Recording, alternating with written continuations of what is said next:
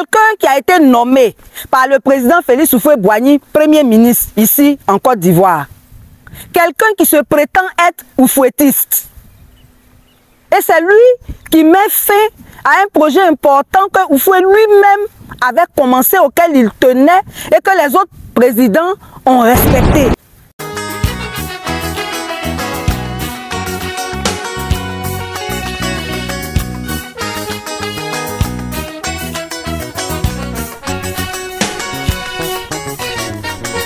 Citoyens, citoyennes, bonjour. Nous nous plaignons tous du niveau de saturation de la ville d'Abidjan qui a un développement urbain incommensurable et incontrôlé. Mais en fait, il y a des solutions, notamment la décentralisation et le projet de transfert de la capitale à Yamsoukro sur lequel nous allons vous informer aujourd'hui.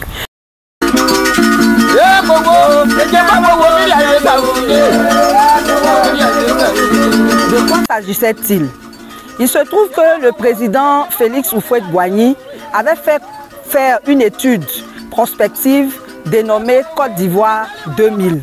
Et dans le cadre de la réalisation de cette étude, des présidents de mutuelles avaient été interrogés. Et il est ressorti de ces échanges qu'il serait bien de décentraliser le développement pour permettre de meilleures conditions de vie dans notre pays. C'est ainsi que une politique de décentralisation avait été lancée, mais parallèlement, le président Félix Houphouët-Boigny a pris une loi. La loi numéro 83-242 du 22 mars 1983 portant transfert de la capitale à Yamsoukro. Il s'agissait donc euh, dans ce projet-là de transférer à Yamsoukro tous les pouvoirs. Le pouvoir exécutif, le pouvoir législatif et le pouvoir judiciaire. Donc Abidjan resterait seulement la capitale économique.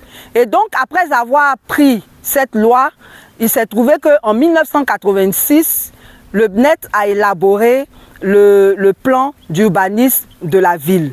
Et c'est là que s'est arrêtée euh, l'action du président Félix Houphouët-Boigny par rapport au transfert de la capitale euh, à Yamsoukro.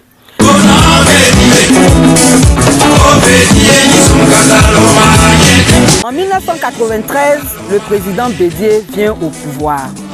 Il arrive au pouvoir et en 1996, il initie euh, l'actualisation de ce schéma directeur. Et cette actualisation a été approuvée en 1997. Et dans ce nouveau schéma directeur de la ville, il était prévu une zone qu'on appelle la ZAP, la zone administrative et politique. Le président Bédier a pris les dispositions pour que cette zone-là soit aménagée. Donc les VRD ont été faits, c'est-à-dire voiries et réseaux divers. Et principalement la construction de la voie triomphale qui traverse toute cette voie et tous ces aménagements-là devaient permettre une, euh, devraient faciliter hein, l'aménagement de cette zone. Donc c'est là que le président Bédier s'est arrêté quand il y a eu le coup d'État de 1999. Le président Bédier a fait trois choses. Un, il a actualisé le schéma directeur de la ville de 1996 à 1997. Il a créé en 1996 le district autonome de Yamsoukro qui était dirigé par feu Jean Conan Bani et il a fait aménager la zone administrative et politique en prévision de sa création effective. Donc les voiries et réseaux divers ont été faits, la voie triomphale a été construite. Et puis malheureusement, il y a eu le coup d'État de 1999. 2000 arrive le président Laurent Gbagbo. Et donc il arrive en 2000, en 2002, il, il organise un séminaire pour que les décrets d'application de cette loi qui n'avait jamais été pris soient élaborés. Et une unité de gestion de ce programme-là a été aussi mise en place. Et alors, le projet a commencé à prendre vie et forme de façon effective. Donc, l'hôtel des parlementaires devant lequel nous nous trouvons a été construit et ils étaient en train de construire euh, le Parlement lui-même et la présidence quand malheureusement on a connu la crise électorale de 2010. En 2011, le président Alassane Ouattara arrive au pouvoir. Il arrive au pouvoir en 2011, il fait son investiture euh, ici à Yamsoukro. Et puis, contre toute attente, hein, en janvier 2012, par le décret 2012-02 du 9 janvier 2012 portant dissolution du programme spécial de transfert de la capitale à Yamsoukro, il met ainsi fin à cet important programme qui devait véritablement permettre un meilleur développement de Yamsoukro. Mais pourquoi est-ce que cette dissolution a été décidée Nous n'en savons rien. Mais pire, pire, peut-être pour ne même pas que ce projet puisse prospérer, la passation de services s'est faite entre les responsables de ce programme et la garde républicaine. Quel rapport entre la garde républicaine et un tel projet? Logiquement, la passation devait se faire avec le ministère de l'Intérieur, qui est chargé de la décentralisation. Malheureusement, c'est ce qui a été fait. Et aujourd'hui où je vous parle, on ne sait même plus où sont les archives de ce projet, sauf si on retrouve ceux qui ont dirigé ce projet au cas où ils auraient des restes. Ce que nous voulons donc relever, c'est que c'est dommage. C'est dommage parce que le développement est une continuité autant que l'administration. Vous avez vu la progression avec laquelle nous vous avons présenté l'historique.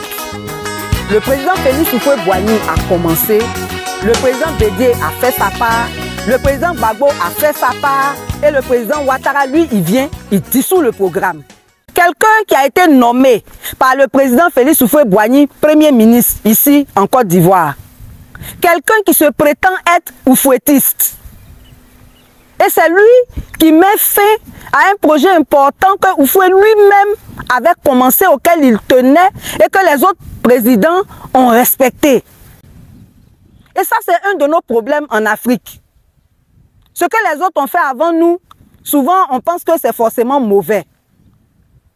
Donc, on dit que l'administration est une continuité, le développement également, mais dans les faits, c'est autre chose qu'on voit. Pourquoi est-ce qu'on a mis fin à ce projet? Il faut qu'on nous l'explique. Et aujourd'hui, Abidjan est saturé. On nous distrait avec des échangeurs. Mais tout ça, c'est du maquillage. Parce que les échangeurs, là, quand on finit de tourner en haut là-bas jusqu'en là, c'est sur les artères, les mêmes artères principales du, de la ville là qu'on descend. Malgré les échangeurs là, les embouteillages sont là. À la limite, les ponts. Par exemple, si on faisait le pont entre Benjerville et Bras, ça allait permettre aux gens, à tous ceux qui travaillent au sud, de ne plus passer par le boulevard Mitterrand, mais de plutôt venir par ce pont-là pour allier les quartiers du sud. Il y a aussi la décentralisation qui est importante. On a dit qu'on allait en parler une autre fois. Mais l'autre problème, c'est lequel? C'est qu'on se permet de ne pas respecter le plan directeur de la ville. Sous le président euh, Bédier, on fait l'actualisation du schéma directeur de la ville. Dans ce schéma directeur, il est prévu la zone administrative et politique, la ZAP. Et puis vous, vous partez construire le Sénat à côté de la basilique. Vous partez construire euh, la, la, la, la, chambre des rois et chefs traditionnels à côté de la basilique, alors que la ZAP est là. Donc tous les investissements qui ont été faits sous Bédier pour aménager la ZAP sont restés vains. Tous les investissements qui ont été faits pour que les premières institutions soient installées ici ont été vains. Vous avez vu le bâtiment inachevé de la présidence. Il y a les ruines aussi du Parlement. Il n'y a aucune volonté politique réelle de désengorger Abidjan. Aucune. Que le développement urbain a plusieurs aspects. Ce n'est pas seulement la mobilité urbaine, c'est-à-dire les routes. Il y a aussi l'occupation spatiale qui obéit à des règles. Et c'est parce que l'occupation spatiale obéit à des règles qu'on élabore des schémas directeurs, des plans directeurs des villes. Donc, premièrement, à partir du moment où la loi cette loi qui porte transfert de la capitale à Yamsoukro n'a pas été abrogée, il faut qu'on l'applique. On l'applique ou bien on a le courage de l'abréger. Deuxièmement, respecter le schéma directeur de la ville de Yamsoukro en ne construisant pas n'importe comment les édifices publics. Il y a une zone qui a été créée pour ça. Il faut respecter cette zone-là. Il faut respecter le plan directeur de la ville. Et pour terminer, j'aimerais dire que vous, en tant qu'oufouettiste, vous avez le devoir de ne pas le clamer sans le prouver. Et ressusciter le projet de transfert de la capitale à Yamsoukro, c'est ça qui va montrer aussi votre bonne foi quand vous, vous prétendez oufouettiste et que vous tuez le dernier projet que le président Oufoué avait lancé avant de partir. Je vous remercie et je vous donne rendez-vous pour un autre focus citoyen